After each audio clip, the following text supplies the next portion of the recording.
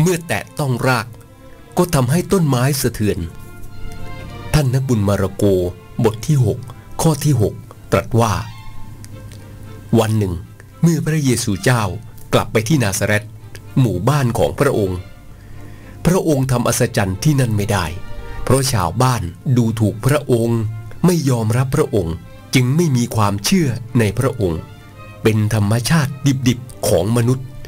ที่ยกยอตนเองว่าสูงเด่นกว่าคนอื่น และ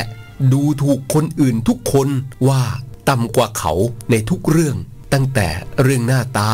สกุลรุนชาติ ฐานะอาชีพ เงินทอง ความสามารถและอื่นๆ ทั้งทั้งที่ใครๆก็เห็นทนทั่วว่า มนุษย์ทุกคนมีความบกพร่อง มีความจำกัดในทุกเรื่อง และเขาจะมีความสุขเมื่อเขาไม่เปรียบเทียบตนเองกับคนอื่น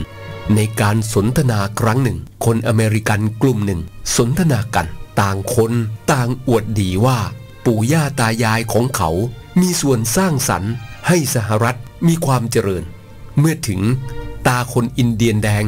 เขาพูดด้วยความสุภาพว่า ประเทศนี้เดิมเป็นที่อาศัยของชาวอินเดียนแดง และพวกเขาถูกฆ่า ล้างเผ่าพันธุ์เพื่อให้เป็นที่อยู่ของชาวผิวขาว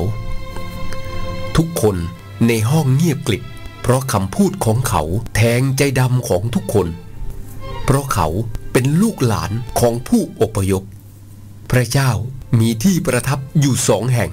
แห่งหนึ่งคือสวรรค์สูงสุดและอีกแห่งคือหัวใจที่สุภาพ ถ่อมตน ถ่อมตน ถ่อมตน ระ อัครสังฆราช หลุยส์จำเนียน สันติสุขนิรันดร์